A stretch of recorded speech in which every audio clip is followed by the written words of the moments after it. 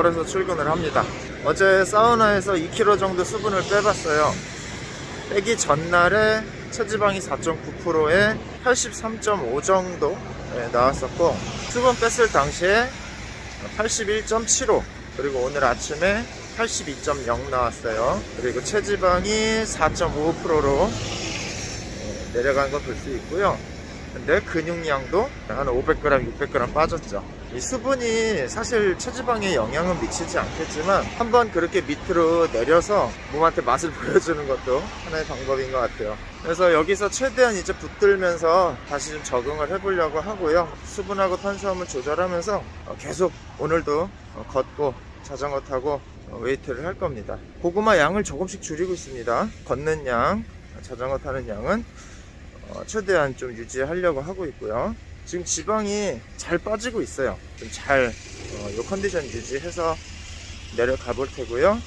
아마 내려가다 보면 좀 걸릴 겁니다. 어, 그때는 근손실을 좀 감안하더라도 조금 더 내려 볼게요.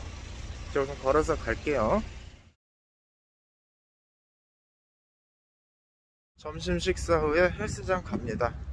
어, 하루 고구마 600g을 섭취하는데요. 자는 동안 그리고 유산소 하는 동안 어, 소진된 몸의 에너지 탄수화물을 다시 빠방하게 채워놓고 어, 웨이트를 오늘 한 1시간 반 정도 할 텐데 그 정도면 아마 다 빠질 거예요.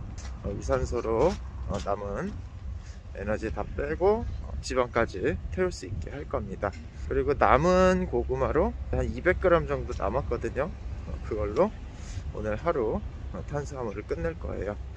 아마 운동 직후에 먹을 거고 자기 전에 다 고갈시켜 놓고 단백질 좀 먹고 오늘 하루 먹는 걸 마무리할 겁니다. 자는 동안 또 지방이 빠지겠죠. 그러니까 이 사이클이 저는 제일 좋은 것 같아요.